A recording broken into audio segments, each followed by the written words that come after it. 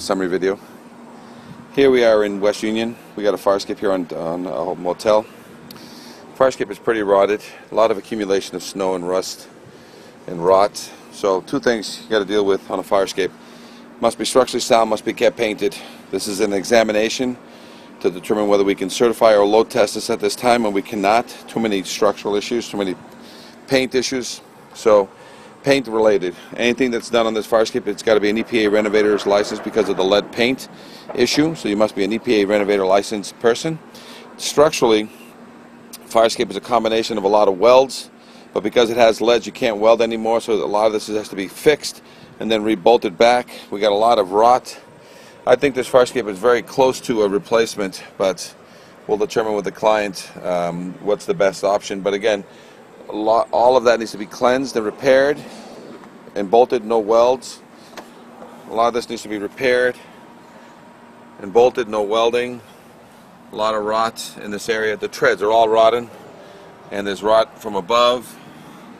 You got holes. The stringers are all eaten. The treads are all eaten.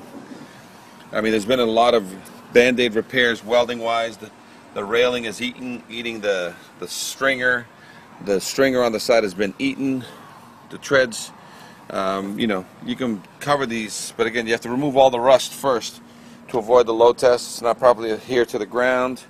The stringers, as you can see, are showing signs that you can just go right through with your finger. Okay, so um, the, the, clips of uh, ice jacking and rust jacking, rust jacking extreme.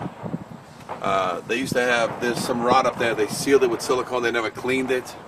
There's some cement packing in there to hide the fact that there's all kinds of rot.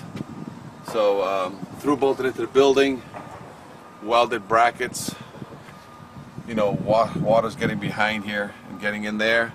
You know, all the, all this needs to be cleansed out. You can see a lot of deterioration on the stringer. The stringers are eaten. You have to eat, you have to replace these stringers this is really a candidate for replacement. You can band-aid this, but then you'd have to load test it. Um, but you know the, the repair cost on this is probably going to be close to, if not the same, as the as the replacement cost. got a lot of deterioration. Put your finger right through there. Deterioration, deterioration, deterioration. This is really a candidate for a replacement. But if the client wants to spend the money on this to spot repair it, then load test it. I'll fully refurbish it to avoid the load test that's a possibility. Any questions? Fire Escape Engineers Inspector Summary Video. We're here in West Union. Again, this is Cisco 866 649 0333.